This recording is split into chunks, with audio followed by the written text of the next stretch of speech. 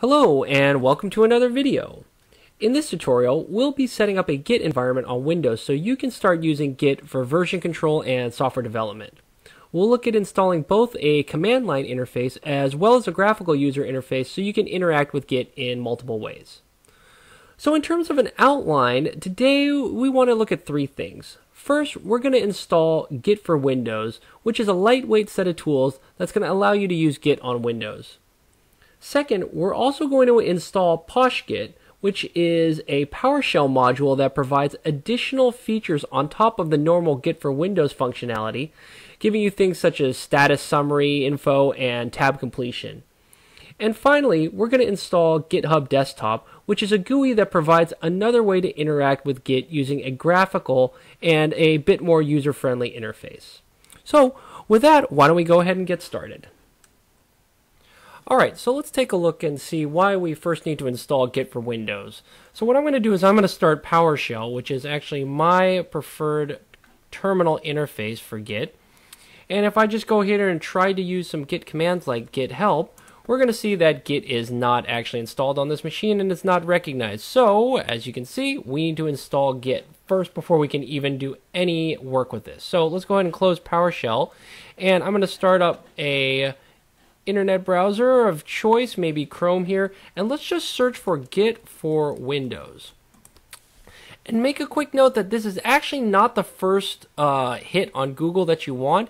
It's actually this one down here where it's the URL is actually gitforwindows.org. So let's go ahead over here and we'll see that this is where we can download this lightweight set of tools to install Git on our machine. So I'm going to go ahead and install this and once it finishes I will come back and we'll run the installer and take a quick look at the installation process. Alright, so the download is complete. Let's go ahead and look at the installer file and open it. And let's just start walking through the process here. So I'm going to allow this to make changes to my device. And let's just walk through this and install in wherever you'd like. And I'll leave uh, a lot of the default components to start with.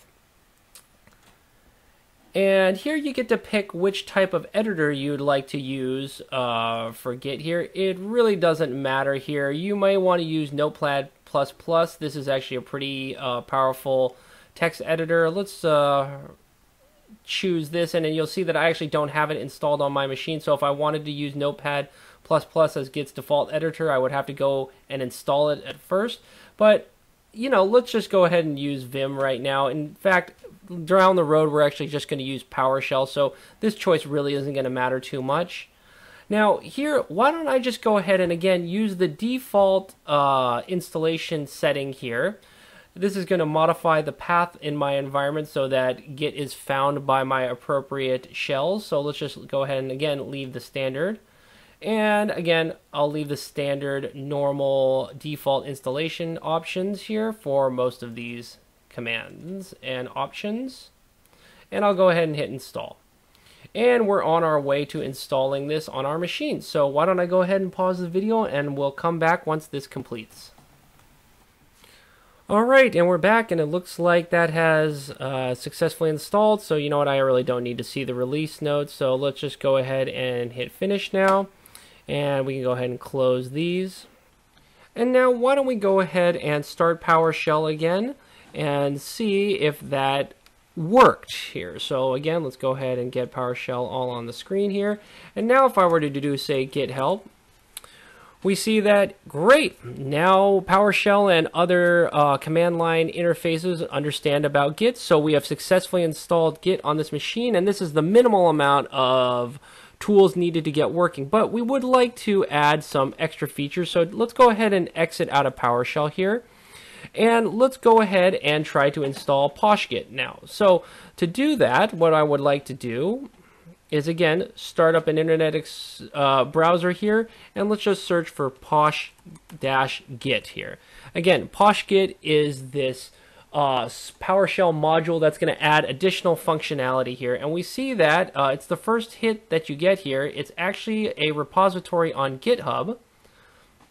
So if I come here, what I want to do here is I actually want to clone or download this to my local machine. We'll see we're going to need that in a second, and we've got actually a video in this series later on that talks a little bit more about creating and cloning repositories. So if you're more interested, please watch that video. But if you really don't care about that and just want to get Poshgit on your machine, just go ahead to the github.com slash, here's the name of the uh, developer, slash Poshgit, and then go find this green clone or download button and click on it and then you basically want to grab this URL here, and luckily GitHub has this nice convenient copy to clipboard button. So if I copy that, and or sorry, if I click on that button, I will have copied this URL to my uh, clipboard.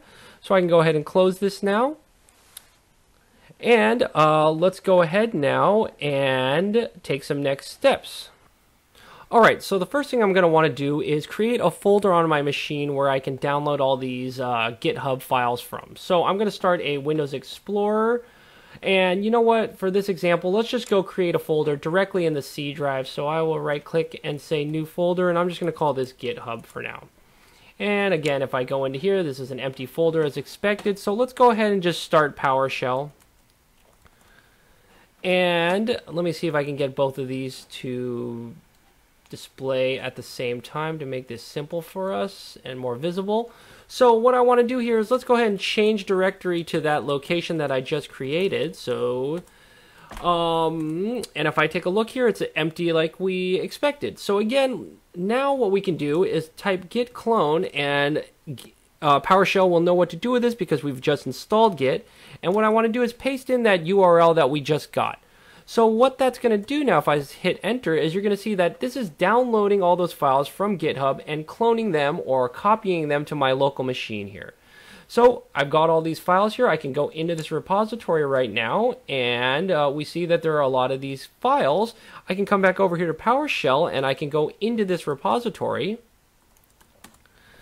and again, if I take a look here, we see that, yep, here are all the files as listed in PowerShell, and they are all sitting there in Windows Explorer as well. One thing I might want to point out and call to your attention right now is notice that we're in a GitHub repository right now, but I actually don't know the status of it in terms of is are my files up to date? Uh, are do I have changes here locally that need to be pushed up to the server? We're going to get into this a little bit later on in some of the future videos, but again, I wanted to call your attention to this right now because this is exactly what we're trying to do with PoshGit. PoshGit is going to allow us to understand the status of these uh, of the repository without needing to do things like typing git status all the time here to figure out what's going on. So with that, let's go ahead and take some next steps. I'm going to clear this terminal just so we can uh, get this to look a little more clean. Notice here in the PoshGit repository, there's this file called install.ps1. This is a PowerShell script that's going to allow us to install PoshGit or modify our PowerShell profile so that uh, this module is loaded every time we start. Now, what we're going to want to do right now is going to is try to execute this script here from PowerShell. Now, you may or may not have success with this. So if I try this, we see that, well, I actually can't do this because running scripts are actually disabled on this system here. So the first thing I need to do is uh, fix that problem here. So to do that, what I'm going to do here is, first of all, let's go ahead and um, close PowerShell because I'm going to want to start and run this as an administrator to save myself any headaches in the future. So I'm going to go ahead and close this, and let's close this as well. Alright, so let's go ahead and start PowerShell again by searching for it in the Start menu, but then again, instead of just directly clicking on the PowerShell, I'm going to right-click on it and say Run as Administrator. And when I get the user account control dialog, let's just go ahead and say yes, I know what I'm doing. So let's go ahead and uh, minimize this so it fits on the recording screen. And now what I want to do here is let's just check. So what you can do here is you can do something like get execution policy and we see that it's currently restricted. That's what caused the error earlier. It's basically saying that we're not allowed to execute these scripts. So what I want to do here is I actually want to set the execution policy to unrestricted. And uh, again, let's go ahead and make sure that we want to change the execution policy. And let's just go ahead and say um, A, yes to all. Great. So now what we can do here is let's go and um, uh, change the directory to the GitHub slash poshgit. And now let's go ahead and try to do our slash install.ps1 and run that script here. And hopefully we should have success this time. And we'll give this a couple of seconds here to run and I will pause the video and come back once this completes. Oh, actually, look at that. It completed already here, so uh, we should be good to go. The reason I know it's good to go here is, if you remember earlier, we called out and said that when you were inside this PoshGit repository, we didn't know about the status, about what was going on, and now you see we've got this nice turquoise um, note that says we're on the master branch and we're actually up to date here. So PoshGit is installed and we should be uh, ready to do to some development. And just to show that this should work uh, across uh, Git sessions, let's go ahead and close this instance of PowerShell. And I'll just start it back up again here. We don't even need to run it as an administrator. And let's go ahead and do our cd dot dot, cd dot dot, cd github. And again, maybe I'll pause here just to draw your attention to it. We are not actually in a GitHub repository yet, right? We are just in the GitHub folder which holds the repository.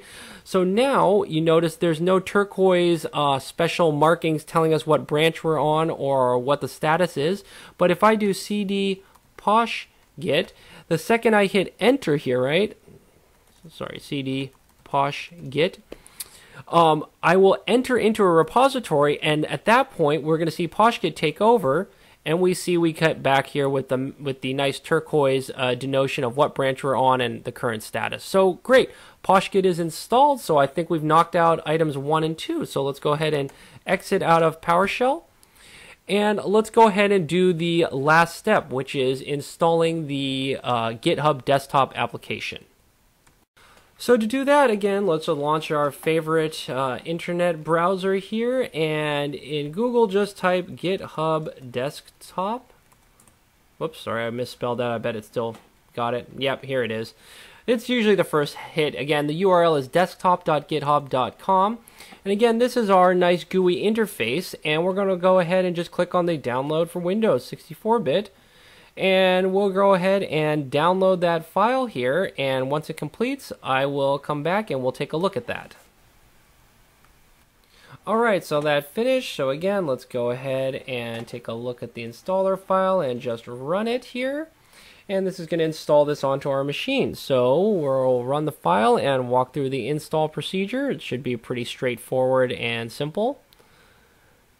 And this is taking a little bit longer than I would like here, but this is not the fastest machine in the world, so I guess I'm not surprised. So, tell you what, why don't I go ahead and pause the video and we'll come back when we're ready to take some next steps in the install procedure.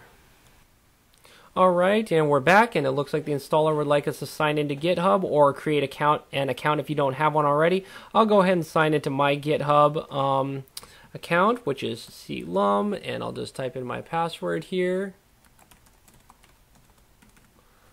And let's try to sign in. And you may need to configure Git by putting in your name and in your email here. And, you know, this is probably good enough for now. Let's go ahead and hit continue and uh, finish. And great. And here we are. Here's our GitHub desktop application. Let me kind of minimize everything else so we see what we've got. Uh, here we are and we've got the application installed here. We see we've got a nice icon on the desktop for this now. And again, this is our graphical user interface for interfacing with Git. So between this and then PowerShell with the PoshGit module installed, we should have a good way to interact with Git. So in future videos, we'll talk about setting these up here and using them for actual software development on a special project here. So with that, I think that concludes this video of getting your Git environment set up on your Windows machine. I hope you'll join me for the next video where we're going to look at cloning and creating repositories and making use of some of these tools we put in place here. So thank you so much. I hope to see you next time. Bye-bye.